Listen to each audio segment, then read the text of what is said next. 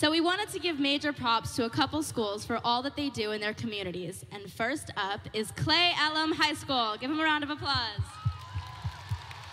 On top of fundraising for a school in Ecuador four years ago, they've just recently returned from an EF service learning tour where they worked firsthand in a part of the world that they are so connected to.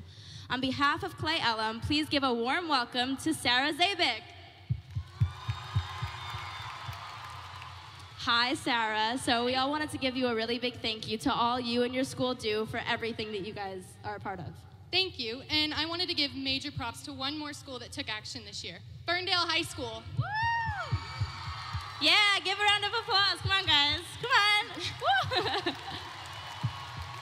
Through speaking with elementary school students and volunteering in local programs, their leadership class has worked on team building, mentoring, increasing pride in their cultural identity, and squashing stereotypes about minorities.